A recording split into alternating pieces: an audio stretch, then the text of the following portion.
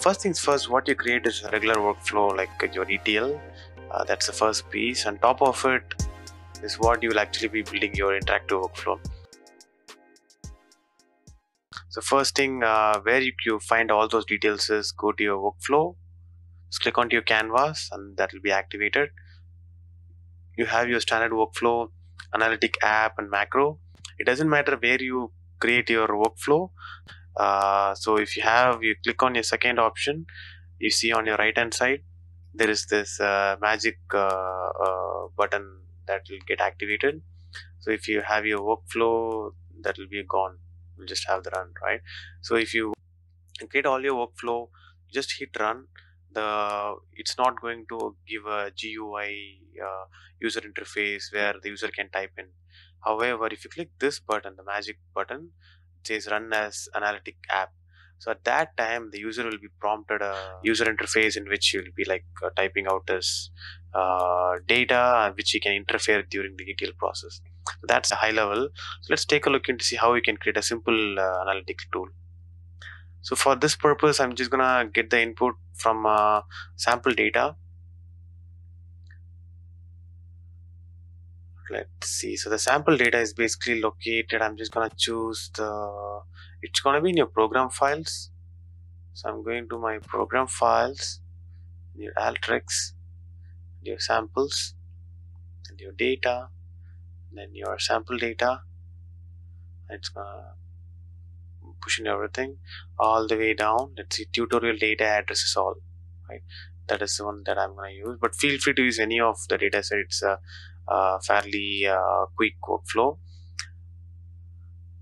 So here what's going to happen is this this is my input. I've just pointed to my input. Uh, the input has look that's user id uh, first name last name prefix gender birth rate registration uh, country full name phone number mobile phone city zip code all the information from the registration uh, customer registration right? Uh, so this is the first piece. Once you have got the data from the Alteryx database so YXDB once you have your data inside you can go ahead and add a filter. Uh, now I'm just going to show you guys uh, uh, the data itself here. Uh, so if you take a look we have all these information. Now let's basically filter on the gender male and female we have. So right now I'm just gonna make sure male is selected. It doesn't matter actually. Uh, I'll show you why so I just need to click on this then configure the tool. Uh, so in the custom filters what I should do is I'll just say uh, gender. That's a column name right? I need to say gender yeah. So gender is equal to it doesn't matter you put female or male here. It is going to be replaced with whatever the user is going to be inputting from the interface tab which I'll show you in a few minutes. We'll just go ahead and output the file into an Excel so I'm just gonna go to in out I'm gonna drag and drop the data file here. Alright so once that is done the next step is basically to configure the output. So I just need to go here and see just go ahead and click my XLSX then uh, just see yeah just output it to a sample. Sample interactive output. right um, yeah so I think that's fine. It's gonna ask me to select the sheet number. Sheet one is good. Hit ok. Alright so this is basically your uh, simple workflow. Uh, so what this basically does is uh, it is going to point to a input file. So that's the tutorial data file. Uh, and then it's gonna filter for the gender column. It's gonna only look for male right now each and every time uh, whenever it's been ran. It's always gonna look for male uh, and then it's gonna drop the output into a separate uh, given folder right? So this is a process routine process. It's gonna happen all the time exactly the way we have configured it right? But let's say if the user wants to step in and he wants to make a change in this gender let's say i wanted to uh, uh, select only the female and then output it into a different folder somewhere else right? So how do i do that so that is exactly where the interactive app comes into play. So you need to go to this folder called uh, this toolbox uh, called uh, interface. So once you're in here they have a bunch of different options right? So you have like file browse radio button text box drop down list box everything is here. Whatever you need to make a interactive workflow everything is here. Everything is very simple to configure very similar to what we're gonna see right now in this one i'm gonna choose text box. So i just need to keep my text box here and then point it to the action uh, action side right? You see here? So once you put it the, the action piece will automatically come in if you can see here. So now all that you need to do here is go ahead and do the configuration right? So you need to name give a name for the text box because that's how it's going to be displayed.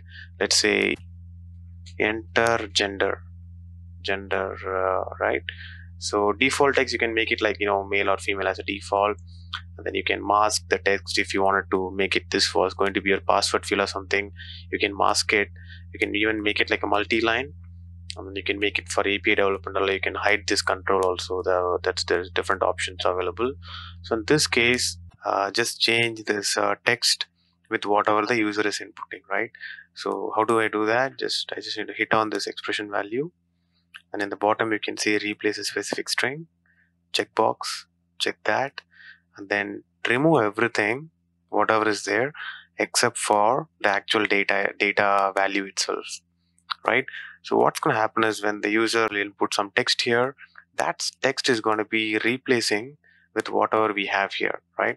And that in turn will replace this filter and the workflow will be executed with a new filter.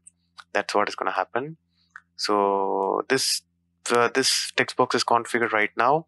Now what we can also do is we can go ahead and configure the output uh, tool.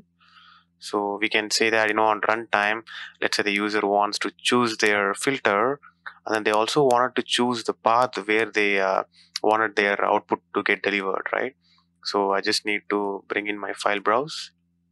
Once i bring in my file, br file browse I, I can uh, keep a name for this. Uh, let's say choose your output output file or location or whatever it is. And then here I should say save as dialog right? Only then it's gonna open the dialog that you would have seen before in our input output uh, file I can show you that in a few seconds. Um, so I can just uh, drag this again to my uh, uh action. Now I just need to go ahead and configure the same action box will be opened up here. I just need to go ahead and configure this one. I'll just say that uh, uh, update output data tool default. So you know I'm just gonna keep it as default here. Uh, so let's go ahead and uh, execute it right now. So you see here I'm just hitting this uh, magic button here. I'm not hitting run. If you just hit run it's gonna run with the default values. So now you see here this is the GUI the user will be uh, seeing right? So you have your enter gender right? Which is gonna be touching this and choose your output file is gonna be touching this. So if I enter gender so I'm just gonna change it as female right? The user is entering female then the output choose your output file I'm just gonna hit this drop down. Then it's gonna open the same drop down that you would have been familiar right so hit file. I'll just choose a file here. Let's say output output interactive right? Output interactive. It's gonna be in XLS it's okay. Hit save. It's uh, gonna ask which sheet you want to write. Sheet one is fine. And then uh, so that's configured. This configured. I'm just gonna hit finish